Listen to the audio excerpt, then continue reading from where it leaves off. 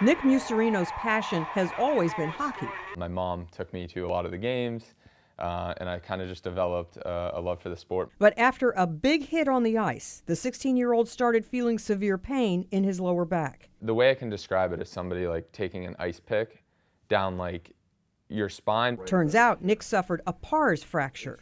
The pars is a part of your spine. It can be fractured uh, after repetitive stress and strain, particularly after sports. It's a common injury in young athletes who play football, soccer, hockey, or ballet. In fact, some of the fractures will actually heal on their own. But when Nick's injury didn't improve after six months of physical therapy, he was offered a unique procedure.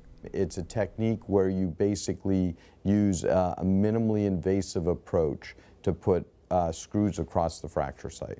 Dr. Allan Levi at the University of Miami developed the procedure that uses two small incisions. We put a, a pin through the fracture, then we get a intraoperative CAT scan to make sure that the pin is exactly where we want it to be. Screws are placed across the fractured bone to promote fusion. Six months after his surgery, Nick was ready to get back on the ice. Now enrolled in law school, Nick still loves to get in the rink and play. His back pain is gone. It hasn't limited me in any way. I'm Marty Salt reporting.